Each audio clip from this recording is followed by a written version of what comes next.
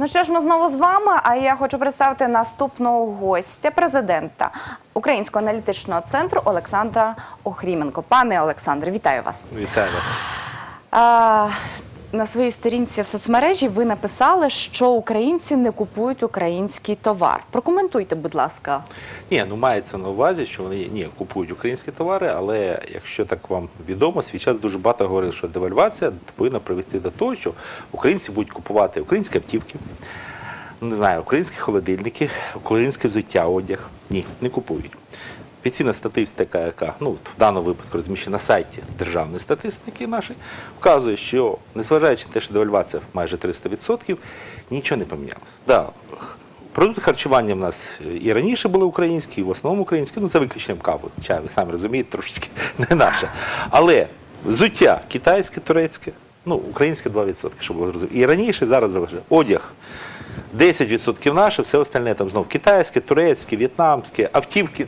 Автівки навпаки даже впали. У нас на сьогоднішній момент, якщо е, 2013 10% це було українське, ну я розумію, що це Ланос, я все розумію. А зараз 6%. А все остальні знов такі імпорт, імпорт. Ну, я розумію, що мобільники це складніше.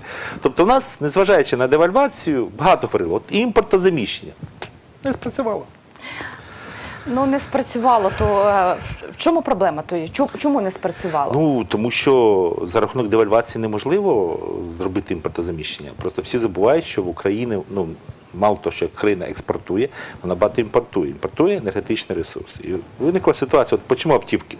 От такі погані там наш. Скажімо так, наші та вони не погані, але для виробництва металу треба енергія. Енергію ми купуємо, ну, хай газ, вугілля, яка різниця, купуємо за долари. Курс піднявся, раз, метал подорожчав, раз, е, пластмаса подорожчала. І говорить, ну як же я вам зроблю автівку дешево, я ж не можу її без металу зробити. Вона стала дорога. Дорога, а без металу не робиться. І от це протиріччя, ну, дуже багато забувають. Говорять, от давайте девальвація, так добре, да не добре. Це якщо б у нас, наприклад, е, імпорт. Ну, у нас на сьогоднішній момент в структурі ну, є такий показник е, імпорт до ВВП. У нас 54%. Це дуже багато. Тому, на жаль, якщо ми здав- девальвацію 1000%, ну, не буде в нас дешевого. Ну, а одяг теж саме, виходить, яка тканина імпортна, фурнітура імпортна, нитки. Ну теж, ну хлопок, ж, ну, ну як ми ж його візьмемо? Дивіться, з часів роботи керівництва Яценюка після Майдану Україна знаходиться на межі дефолту. І е, Ну, вже навіть дефолт є. Взагалі, офіційно там одна структура вже признала. Так що тобто можна сказати, що закон, закордонні інвестори все ж таки оголосили Ні, дефолт України? вже відносно давно, вже тиждень, як ми в дефолті. Ні, ну дивіться, якщо зарубіжний засіб масової інформації ви читаєте, там вкромно написано дефолт, дефолт, дефолт. Це ми називаємо, ми ввели мораторій, вони ні, це коли пишуть дефолт. Ну, е, з точки зору, щоб ви зрозуміли, от є ну, термінологія. Вважається, якщо ви своєчасно не погасили кредитні, облігації, немає значення. Це дефолт. Все, от з точки зору міжнародного, це дефолт. Е, у нас 23 вересня повинні були погашені єврооблігації. Ну, вересня, як ви самі розумієте, вже закінчився. Дефолт, дефолт. Все. І вони говорять, ну це, а це ваше, як ви називаєте, як хочете. Ми називаємо як правильно. Ну та- так як воно є насправді. Ну, то да. чому ж тоді наше керівництво не сприймає, що це е, Ні, ну, щоб заспокоїти людей. Ні, тут давайте так, політика, економіка. Ну, звичайно, є міністр фінансів, розумна людина, пані Яреська, розуміє, що це дефолт. Я думаю, коли вона спілкується з зарубіжними інвесторами, вона таке говорить, дефолт, і вони розуміють. Але коли вона виступає для українців, все спокійно, все нормально. Ну, щоб заспокоїти, тому що у нас слово дефолт дуже лякають, і от вона, щоб людей трошки заспокоїти. Але дивіться, як можна заспокоїти людей. Люди не довіряють нашій владі. Вони краще будуть все ж таки е, закордонні засоби на масової інформації читати, і вони будуть більше вірити, то, е, більше їм І такий вірити. є варіант. Ну, дивіться, ну знов таки ситуація. Ну дійсно, е, от що таке, ну ми говоримо, от дефолт дефолт.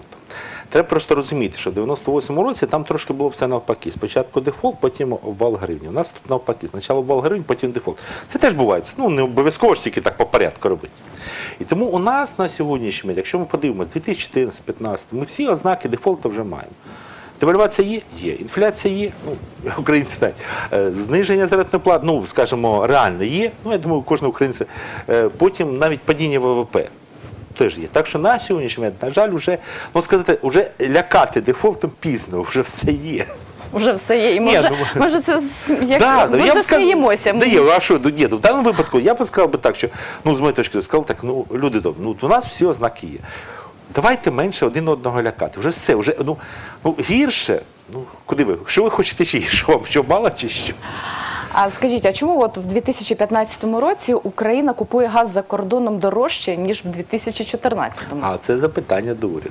Ні, ну це ж теж не темниця. Ви ж напевно пам'ятаєте, коли цей був ем, скандал Тимошенко, ну 2009 рік Приющенко. Ну, тепер вже можна про це говорити, що тоді ж як би було. То було зрозуміло дуже просто. Звичайно, при Кучмі, саме, коли Кучма був президент, е, закупівлю газу контролювали його структури. І він з цього мав зиск. Ну, все дуже просто, банально. Ну, звичайно, став Ющенко, і тут почалась війна. Хто контролюватиме закупівлю? Звичайно, Ющенко хотів, Тимошенко хотіла. Да, в даному випадку нав'язала нам Тимошенко. Ну, то вона тоді виграла, це що цей контракт ненормальний і так далі. І помінялося, ну, понятно, при Януковичі контролював Янукович теж не таємниця. Тепер помінялось, а тепер новий контроль. Тепер, відповідно, Яценюк хоче мати. Він дійсно, ну дивіться, що виходить. Замість того, щоб купувати майже на 30 доларів дешевше газ в Росії, ми купуємо в Європі, в німецькій компанії. Замите, ну, Німеччина, як самі розумієте, газ не добуває. На реверс, тобто, другими словами, е, ця німецька компанія купує в Росії газ дешевше. Він якби поставляється в Німе по документам, ж ніхто ж туди його, звичайно. І ми його купуємо по документам тут, але вже дорожче, ну там в середньому 30-40 доларів. Виникає запитання, де вони діваються? Ну я розумію, вони об'ясняють, а наші витрати, маркетингові дослідження, ви ж розумієте, ми ж це ж купуємо. І тут це ж питання дійсно, тому що ну, от, е, по останній інформації, правда, за півроку було. На сайті на «Нафтогаз», хто хоче, може подивитися. Там дійсно ну, показана ціна з Європи і з Росії. Вони, ну, і там видно, що середня ціна з Європи вища, ніж середня ціна з Росії. Ну, да, навіть по самим офіційним показникам. Ну, НАК «Нафтогаз» і не, і не приховує, говорить, так, так склалось. Він пояснює, технологічні особливості. Ну, ми розуміємо. Та так склалося. Можна у нас е, якось все підписується під те, Ну, що на да, так склалося. Якщо така, а що ж, а що ж далі? Що може бути ще гірше? Дефолт є, економічна криза є, А тоді вже підйом буде. підйом буде. Ні, ну кризи постійно не буває. Ні, я розумію, що на жаль, на, да, в нас зараз криза. Я розумію, що дійсно, ну поки що навіть нами не досягли. Це теж е, це така, ну. Якби прикра новина, але хоча на уряд говорить, от ми вже майже вийшли, ну, ну давайте так, не фантазуйте. Ну ви ж ми ж живемо, ми ж по магазинам ходимо, що ви нам розказуєте, ви розумієте. І це дійсно факт. Але, ну скажімо, не буває вона постійно криза. І вона дійсно криза ну, закінчиться. Друге діло, що може не так швидко, як ми хочемо. Ми ж хочемо, щоб а давайте завтра. А вона, на жаль, не завтра. Але закінчиться. І дійсно буде підйом, тому що розумієте, в будь-якому випадку, ну вона криза десь так, знаєте, ну, вировні, заровні, а потім дійсно йде підйом і дійсно може дуже швидко все зростати. Ну, якщо вже нагадаю вам більш дальній час, 98 99 Ну, от якщо хтось пам'ятає, так візуально, 99 згадає, дуже прикрий рік, ну, теж такі. 2000 чесно говоря, ну не які. ну теж був такий. Не... В 2001-му щось таке, в 2002-му, о! А вже, а вже коли в 2003-му почався реальний під, ну це вже відчувалося. Люди говорять, о, як добре, ну правильно, але ж згадайте 99-й, а його ж треба було пережити, щоб був 2003. От така ситуація. Ну так, ну тоді е, гаразд, треба чекати, будемо чекати, але то також дуже багато факторів з війною пов'язано. Правильно, Ну, з має війною, ну будемо надіятися, що ці ж переговори останні, які там були це в Парижі, там де там ще в Мінську, що вони в кінці кінці якось вирішать це питання. Тому що я так розумію, Європа зацікавлена в мирі однозначно. Ми зацікавлені в мирі. Е, Більш-менш я думаю, що і Росія зрозуміла, що там швидкої перемоги не буде, і ті всі плани, що давайте ми там. Зробив коридор до Крима, скоріш за все, я думаю, навіть Росія про це вже не думає. Ну, вона ж розуміє. Ну, я думаю, що реально розуміє, що це вже нереально. Навіть якщо якісь там якісь дуже. Тому є надія, що вдасться якось його ну, стабілізувати. Ну, все-таки хотілося б дійсно, щоб ці всі домовленості ну, були реалізовані на практиці, тому що в будь-якому мир значно краще. ну ми сподівалися стосовно і перших, і других Ой, мінських та ну да, домовленостей. Це все не пройшло. Ми можемо звичайно знову Ну, а що сподіватися. Ну, давайте ми, от ми приймати участь, на жаль, в цих перемовах не маємо можливості. Можемо тільки, як би сказати, ну, своїм лідерам сказати, ну давайте, дійте, дійте, дійте. Ну, я розумію, що це більш політичне завдання президента. Дій. От ми йому говоримо, давайте, ми хочемо миру. Дій. Прийміть. Працюй. Ми діємо. Ви сказали, навіть Росія зрозуміла. Росія, можливо, і зрозуміла. Та чи пан Путін зрозумів це? Ну, він же представник олігархів, те ж саме. Там. Ну, знов таки, ви ж розумієте, от з моєї точки зору, це все, що ми бачимо, це війна олігархів. Наших, російських, воно все ж переплилось. І якщо економічний, економічний інтерес е, буде перевищувати, війна зразу припиниться. Що що, а гроші вони рахувати, ой, люблять. Ну, е, звичайно, війна олігархів, але все ж таки гинуть наші хлопці. Це ж завжди. і- Ну розумієте, олігархи, як ви скажете, вони ніколи, ну т- та й не тільки наші. В світі, скажімо, чим багатша людина, чим вона цинічніша. І це факт. Ну, ці всі розмови, що він такий багатий, меценат, американець, ні, це все абсурд. Для нього, якщо йому вигідно, він буде фінансувати і революцію в Ірані, і в Іракі, і окупацію, все. Тільки раді чого? Що він заробить ну, там, умовно, на нафті, на зброї. Те ж саме наші, те ж саме американські, європейські. Оце всі їхні розмови. Ми вас любимо. Ну, це так. А як тільки що на калькуляторі, ага, скільки ми можемо заробити? Ну, умовно, там, не знаю, на нафті, там, на металі, все, це тут. І дійсно, ну вони ж не гинуть. Ну, що ви, от ви де ви бачили, щоб олігарх пішов, чи його ді... От проявіть, щоб уявіть, щоб е, діти олігархів пішли. Там не знаю, це було б вже якесь таке неймовірне. Нонсенс. Нонсенс. Ви всі ж знають, що це, навіть якщо він там десь з автоматом постоять, це ж видумка. Тому вони і не переживають. З попереднім гостем ми говорили стосовно того, щоб в країні життя покращилося і якось ми почали виходити з кризи. Треба має змінитися система. Ми говорили також про от, з вами говоримо також про олігархів. Так як з ними боротися? Ніяк не боротися. Треба все на все, щоб вони розсілися, заспокоїлись, припинили. Такого війну. не відбудеться. Ми відбудеться при кучмі відбулося. Ну просто ви вже забули свій час, коли ну появилася Україна. Ну у нас тоді були червоні директора. Була дуже велика війна. Фактично криза 92 тому це якраз от війна. Ну тоді були такі, як сказати, молоді олігархи, або називали ще нові українці. Да, Кучма їх тоді не, не швиденько, але розсадив. Можна скільки завгодно співвідноситись, і дійсно, от на його вже в кінці його там сказати, царювання вже була така, знаєте, така болотце. Да, Ющенко там притасував, я, Янукович ще притасував Порошенко. І тепер Порошенка завдання повторити феномен Кучми. Розділити, розсадити, і тоді дійсно, як не дивно, буде стабільність економічне зростання. Дивіться, кучма одразу їх розсадив. Ні, ні, не зразу, не зразу. Ви забули. Вже були олігархи, яких він перемножив нуль. Не пам'я... О, Лазаренко забули? Оце ж Лазаренко, він ж не був один. Так, і на якому-то етапі вони там щось не поділили. Він вважав, що цього ми уберемо. Це Лазаренко це Ходорковський. ну, в такому. Там же ви ще не пам'ятаєте, ще були ряд олігархів, які тут дуже багато втратили. Е, Ну, є це Звігільський, який свій час теж, потім його так понизив. Це, ну, це нормальне явище. Ну, розумієте, не буває, друзі. Вони дійсно люди. А зараз стоїть завдання. Я розумію, що це завдання, от ми так говоримо, взяти, припинити війну. А як їх припинити? Вони ж мало того, що вони одно, на одно нападають, вони ще буває так, сьогодні з цим дружить, завтра він з цим воює. І оці перегрупування, да, це перегруп... тому що якщо йому вигідно, ну, говорю, там нема. От йому вигідно, він буде зараз кричати за Путіна. Завтра буде буде кричати, не знаю, там, за Меркель. Післязавтра там для них нема такого поняття, як, ну, не знаю, там, патріотисти. Їх поняття на гроші. Вигідно все. Ну, це дуже все просто. І дійсно їх заспокоїти складно. І от, ну, ви бачите, час від часу буває так, що заспокоюється, раз якісь там такі сплески. тоді чому президент досі не робить, чи можливо і робить? Ну, якісь- робить. Ні, чого дивіться, він же ж от перетину. Розумієте, яка ситуація? Президент же ж на сьогоднішній момент ну, не має таких е, повноважень, наприклад, як Кучма. Він дуже обмежений з одної сторони олігархи, з другої сторони спонсори, а з третьої сторони Сполучені Штати Америки, Європа, йому приходиться так ось так. От. Ні, він час від часу, да, він час від часу робить, ну, ну як сказати, я розумію, що це робота політиків, політичні інтриги. Ну така в них робота. І дійсно, час від часу, якщо ви подивитесь, він перетасував трошки уряд. Перетасував, е, ну, знов, ну він, знаєте як, е, щоб ви зрозуміти, ну да, Сталін мог прийти сказати, оцього брати.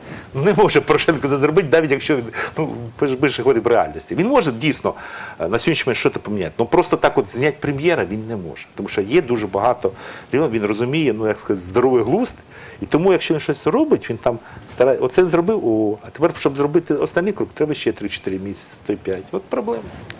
Добре, повернемося знову до України. Чи пройшла реструктуризація зовнішніх боргів України? Не пройшла. І ще раз повторю, я, я звичайно розумію, що Яценюк і Яресько дуже хотіли похвалитись, я їх розумію. Але все-таки треба було сказати правду. Ну, коли вони виступали, говорили провели, треба сказати, проведемо. От вони часи, і на сьогоднішній момент, що відбулося? Почалась процедура. Зараз почалась процедура. Що це означає? Це означає, що тепер повинні зібратись. Е, говорили 9 вересня, тепер говорять вроді 15, ой, вибачаюсь, 9 жовтня, тепер е, кажеться 15-13 жовтня повинні зібрати цей клуб кредиторів.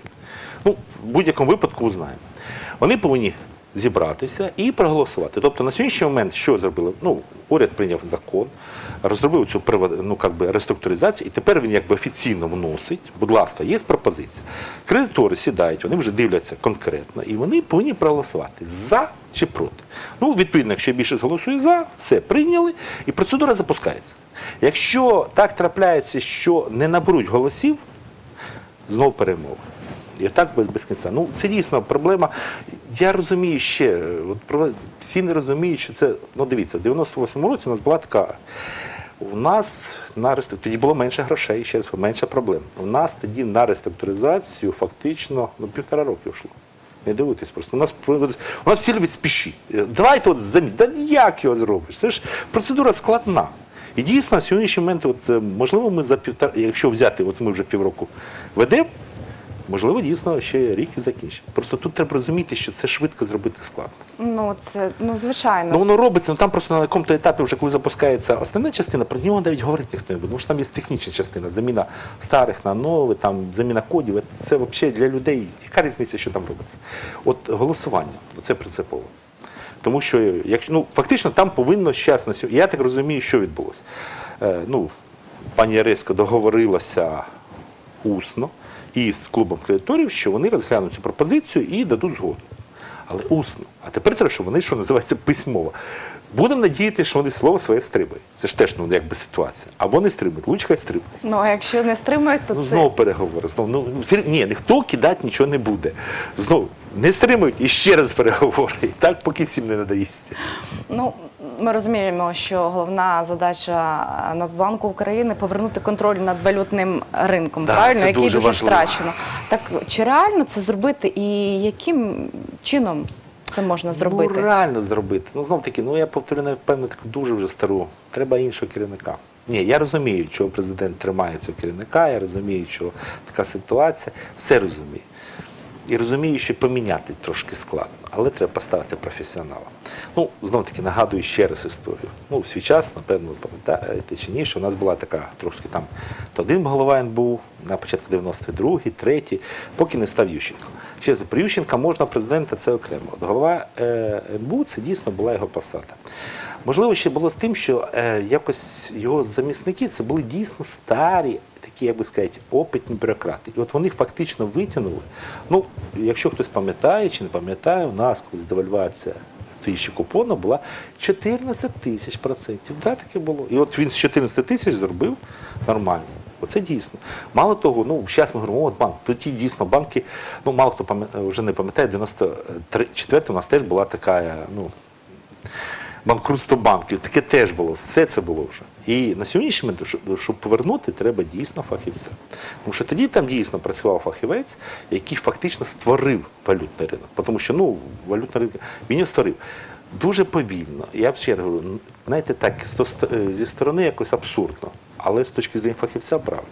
І зараз це тільки так можна зробити. Там дійсно, виходить, треба отак повільно, скучно ну якби не без піару, саме особливо, це теж, а це дуже складно. От для керівництва було складно без піару. Бо це треба без піару робити. Оце дійсно без піару, це робота, просто робота. От бачите, таке протиріччя тоді виникає. Ви кажете, що маємо змінити, е, але Порошенко цього не зробить. Да, тоді да. палка двох кінців у нас він виходить. президент хай приймає рішення. Ні, ну правда, я розумію, що він це не робить, але я розумію, що ну, для того, що він не президент, щоб приймав складні рішення. А що ж відбуло так? Так що ще гірше може відбутися, що все ж таки президент поставив професіонала, і ми і почали вже Ну, маленькими можливо, кроками ні. якісь зміни Ну, відбуватися. можливо, просто ні. Можливо, там я просто він якось якісь по його планам є, що цей, оцей рік ми так закінчимо, цей так починаємо. Та я говорю, що швидкі рухи не так просто робити. Тому що, ну, навіть дивіться, якщо знов таки, все я до історії звертаюся. Ну, в часи кучми головою НБУ можна було поставити указом президента. Раз. А зараз Верховна Рада. Дві великі різниці. Знаєш? Як виходить? Ну і тоді дійсно, е, Кучмі не понравилося, а давай побіяємо цього цього постав, все, легко, ну, указом. А зараз діє Верховна Рада. Верховна Рада візьме не проголосує. Що тоді робити? Ну от не набере голосів. Або знаєте, там це ж е, Верховна Рада. Те, що і відбувається. Да, ви Верховна ж самі що твориться. І тому дійсно тут стоп. Зараз, я поміняю, тут є це ризиковано.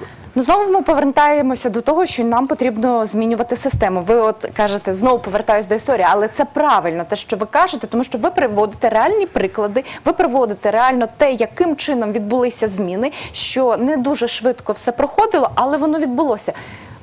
Тоді е, знову таки розумна думка виникає, що подивіться на минулі роки, Да, що да. відбулося. Зробіть, будь ласка, Позитивний щось. досвід тільки візьміть. Так, Негатив не треба, там негативно теж У нас тут зараз негатива вже Достатньо. і зробіть це, але ні, цього не відбувається. Ну, щось відбувається. Я говорю, ще раз говорю, просто на сьогоднішній момент ну, дійсно складно, ну так швидко.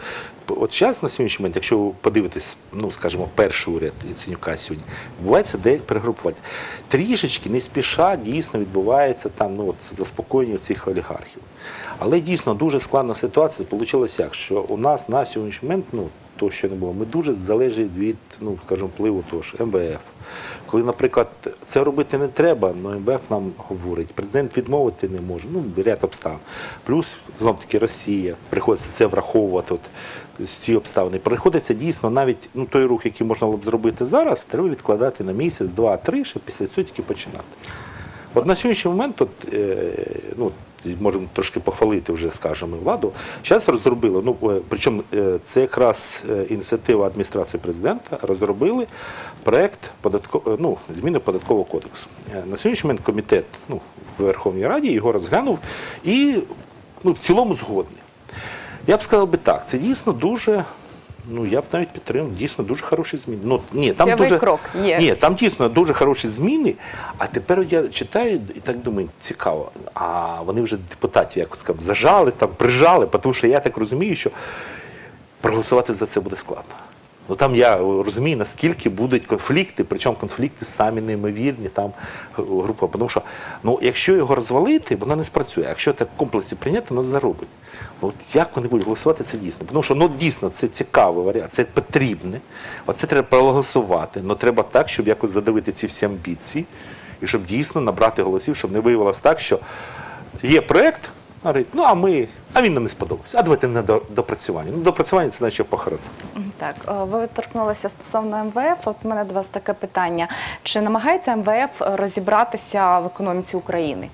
Оце якраз ніколи. Ні, він ніколи не розбирається тільки в Україні і в Греції. Ну, перше, ви не забувайте, хто працює. МЕФ це така бюрократична структура. Вона. Ну, там все-таки основне грає США, і там существує така практика, ну, вони вважають, що це правильно, хтось неправильно. Що фахівці вони тасують, і фахівець повинен чітко виконувати вказівки з Вашингтону. Е, Самостійність це наказується дуже суттєво. Там вважається так: от є калька, ну, законодавство спущено, а економіка США, ідеальна модель, вважається ідеальна, вона не може бути не ідеальна, вона США просто. Є підручники американських вчених, це і самі кращі підручники, все. Більш нічого не допускається. Тому навіть якщо фахівець якийсь е, захоче розібратися в економіці України, йому це заборонять. Ну його просто звільнять, скажімо так. Він розуміє, що це робити не може. От маленький приклад, просто хочу вам привести. Ну так, правда, давненько це я спілкувався з одним фахівцем, який працює. Ну, в, тобто в нашій не працював вже на певному місці. І от е, ну, у нас, ви самі знаєте, є валютні депозити фізичних осіб. Ми всі знаємо. Ми знаємо, що це таке. І ця людина, ну просто так ми зустрілися, він мені розповідав, що він дасть теж знає, він бачить, і почав розповідати. І я розумію, що він не зовсім, а потім уточнив, що ж він мов. Він впевнений, що це гроші українських заробітчан, які легально заробили гроші за кордон, сплатили податки, перерахували в Україну, положили на депозит. Не дивуйтесь. Тому він вважає, що ці депозити будуть зростати по мірі того, що українські заробітчани будуть заробляти стільки грошей перераховувати в Україну. Я слухаю, думаю, боже. Ні, теоретично він прав. Так, дійсно, яка частина грошей. Але він настільки не розуміє, як у нас сформувалися валютні депозити, що я, я, намагався, він не мог зрозуміти. Просто хвилинку, а як, як, як це пачками? Це ні. Це ж зароблені гроші? Зароблені, це нормально. Ми вже заспокоїли, ми вже поняли, що це зароблені. І от вони це не можуть зрозуміти. Так само, як їм, ну скільки разів вже їм не говорили, е, і багато разів, що дивіться в Україні, ну, Причому це на сайті Національного банку інформації, ще раз повторюю, не моя. У нас е, по результатам, правда, першого півріччя на руках, ну, вважається готівкова, е, валюта поза банківською системою, ну так красиво називається. Ну це і долари, і євро, і там навіть рублі. Так от 92 мільярда. Це не рахували, це на 1 липня 2015 92 мільярда доларів. От це вважається. Ну я розумію, хто скаже, а де вони в мене лежать, ну не знаю, це. Але воно в цілому є. І ці гроші є. Ну МВФ це не бачить. Він не бачить взагалі. Він говорить, ну він вважає, ні, вважає, що це є, але це сума незначна. Ну в деяких країнах світу це дійсно. Ну, щоб було зрозуміло, наприклад, е, в Чехії, ну цей показник, там навіть мільярда немає. Там десятки мільйонів. Ну, діє готівково, ну вона маленька. Польщі ще менше цей показник. Ну, от Польща, як не дивно, там в основному злоті. Там, хоча, вроді би, ну там дійсно злоти, злоти, там євро дуже мало. От така ситуація. А в нас це є, і вони це не бачать. Коли вони планують щось, розраховують, говорять, а ви це. Ну, або воно врегулюється. Як? Такі мільярди, куди вони врегулюються? Так, куди врегулюється? Віртуальними коштами просто вважають. Ну вони теоретично, ну знов таки, вони вважають теоретично, ці гроші українці самостійно підуть завтра, поміняють на гривню. І за рахунок цих грошей збільшиться золотовалютний резерв. Така в теорії. Ну це вже така теорія, що я говорю, ну я розумію. Я, я теж, от я, я згодний. Оце було б дійсно дуже ефективно. Але це не відбудеться. А як Ми- же це зробити? А як це зробити? Ну, ви ж знаєте, що це нереально. А вони тому от, ну, е, теж як приклад, дивіться. У 2014 році вони планували, що в 2015 буде зростання ВВП 2%. На початку 2015 вони порахували, що буде падіння ВВП 5%. Влітку 9, вже 11. Ну, я так розумію, до кінця року вже буде 12-15. Ну, тобто, виникає запитання, хвилинку, ну, якщо ви робите прогноз, якщо у вас, тим паче, ви ж дуже велика структура, виникає запитання, яка ж достовірність вашого прогнозу? Ну, я розумію, що якщо б це робив прогноз, ну, не знаю, там, ну, одна людина, ну, я б робив би, от мені можна помилитися, я ж за мною вже ні ж не стоять такі гармонії. То як же ви могли помилитися? Як ви могли помилитися, якщо ви говорите, що за вас така ну, громадна, аналітична, якщо ви це ну, ви можете помилитися на піввідсотка. Ну не на таку. Тобто ви там взагалі плюс тут дедербальний бідус. Як? Причому, що саме цікаво, що вони ж ну дійсно враховували АТО, вони це все враховували. Це не можна говорити, що вони там вони відняли ну дійсно ситуацію, порахували, скільки Україна втратила, Крим. Це не все врахували. Це не можна сказати, що вони так абсурдно, типу. Але виходить, що вони навіть е, от такий показник, це один з показників. Прості показники там взагалі можна дуже сперечатися. А якщо ще про гривню, то ми можемо зробити висновок, що обвал гривні відбувся не через війну, а через е, валютні спекуляції. Ну, давайте так. Поймаєте, от є така лозунг, е, якраз сказати, гроші любить тишу. Ну, якраз як ваша передача, вона частково відповідає на це запитання. Майдан. Майдан не лякав людей. І якщо уважно подивились, почали от забирати вже такий перший відтік під час Майдану. Ну я сказав би, от коли почали убивати людей. От я сказав, от коли вже були почали дійсно люди почали погибати на Майдані, от ще поки Майдан був мирний, ну як люди там дивились, а от коли вже почали стріляти, оце дійсно вже була. От знаєте, людина панікує. Вона вже тоді пішла в банк, а далі вже все. Знаєте, раз покотилась, покотилась і вже. Ну і саму велику помилку зробив Кубів, коли він вів тимчасову адміністрацію Брокбізнесбанк і банку Форум. Ви самі розумієте, е, в українці було ще тоді таке, ну, до всіх цих подій, така думка, великий банк не, не зникне. І коли два великі банки зникли, тоді вже ви самі розумієте. Хтось побіг, просто я забираю все, мені вже нічого не треба. А якщо всі побігли, ну і далі вже бізнес побіг, вже, тут вже, вже все пішло, що називається. Це ж караберт пішло. На жаль, так. Да. Я вам дякую, що ви до нас завітали. Будемо Так. сподіватися. Розуміємо, що швидко все не робиться, але, Але хоч- зробиться. але зробиться так. А я нагадую, гостем програми був президент Українського аналітичного центру Олександр Охріменко. Залишайтеся з нами.